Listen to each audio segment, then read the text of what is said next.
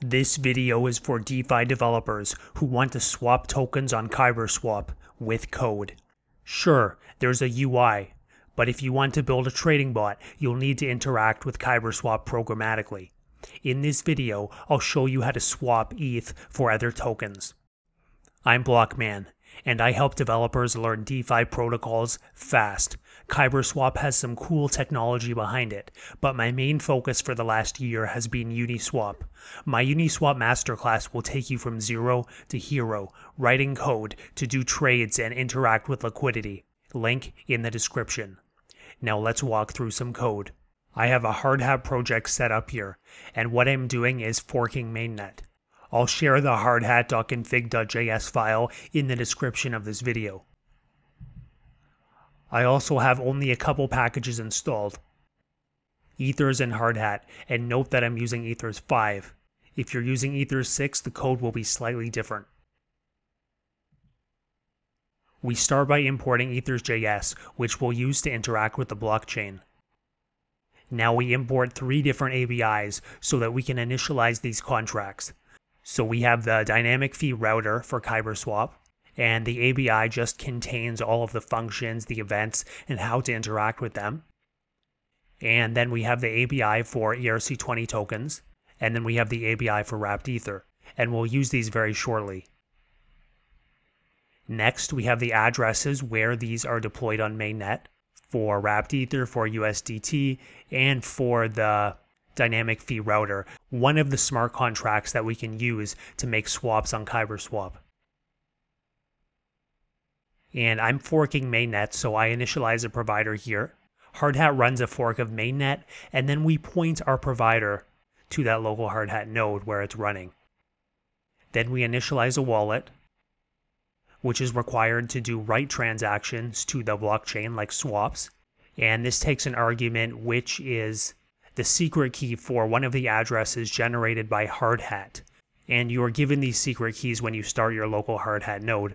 I'll show you that momentarily. So this generated wallet has Ether in it. Well, fake Ether that we can use to make swaps with this fork. After creating the wallet, we take that and we connect it to the provider. And that gives us our signer with which we can actually do swaps. Here we initialize the dynamic fee router the contract that we'll use to do the swaps on KyberSwap. And then we also initialize USDT and Wrapped Ether. And we initialize these so that we can approve token transfers to actually do the swap on KyberSwap. Log balances is a function that logs the balance of ETH, Wrapped ETH, and USDT in the wallet that we're using to do swaps.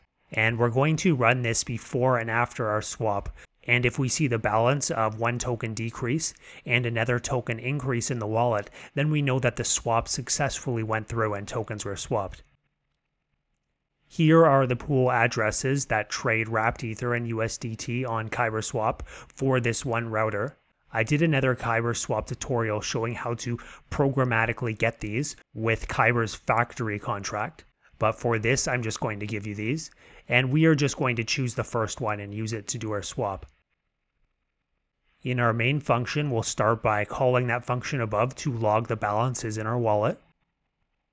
Then we'll set an amount that we want to pass into the swap. And this should be in Wei, so we'll use Ether's parse units to convert the 1 ETH into the equivalent amount of Wei. So basically just adding 18 zeros to it. But this value would be different if you were passing a different token into the swap because a different token might have a different number of decimals. ETH just happens to have 18. Then before the swap, we approve a transfer of wrapped Ether to the router contract. Wrapped Ether is an ERC20 token, so it needs to be approved before it can be uh, used by another contract. We're going to approve that amount in that we set up here. And we're going to approve it for the dynamic fee router on KyberSwap. And that just gives that router contract the ability to access these tokens in our wallet and use it for a swap. And then we call wait so that the next transaction, the swap, doesn't run until this is complete.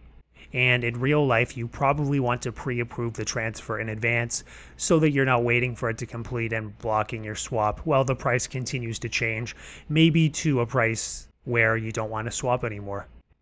Now, on the dynamic fee router, we're going to call swap exact ETH for tokens. First, we need to connect our signer because this is a write transaction which alters the state of the blockchain. So you need a signer for that. Then we call this function and we'll pass in a few arguments. We pass in the minimum amount out. We pass in the pool address in an array. This is the pool path. And then we pass in the two token addresses in an array. So we want to swap from wrapped ether to USDT. So we put wrapped ether first and USDT second. And this is the token path. Then we pass the sender's address. So that is the user's wallet address.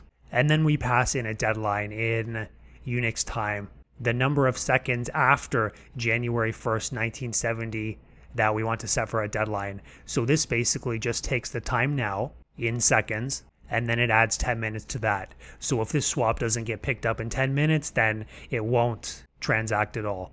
And lastly, and this is important, we want to pass in a value. And this is the amount of ETH that we want to send to the swap. So I take back actually what we did up here. You shouldn't need to approve it all because we are actually sending Ether. We are going to swap from ETH to USDT rather than wrapped Ether to USDT. And for ETH, you don't need to do an approve because ETH is not an ERC20 token and it works a little bit differently. Even if we want to swap ETH to USDT, we should still set the input address as wrapped Ether. The ETH is automatically wrapped into wrapped Ether and then it goes through the swap. Then we'll wait for the transaction to complete and we'll log our balances again to see if they change. Now let's start our local hardhat node. And we can start this with npx hardhat node. And if you scroll to the very top, this is the local address where the node is running and where I'm pointing my provider.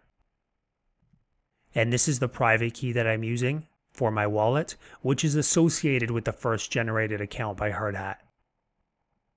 Then in another window, let's run this script. These are the balances before, and you can see that we have 10,000 Ether and zero wrapped Ether and USDT. And then after the swap, we have a little bit less Ether.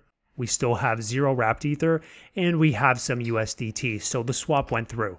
Not necessarily at a great price, and that's possibly because there just isn't much liquidity in this pool. But you now know how to swap ETH for tokens on Kyber Swap. Leave your questions and tutorial requests in the comments, like and subscribe if you're still watching, and I'll see you next time.